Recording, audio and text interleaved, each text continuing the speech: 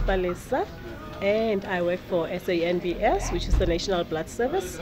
And my duties there, I'm employed by SANBS as a donor care officer, meaning that we go out and we procure blood. It's very important to try and get as much blood as we can.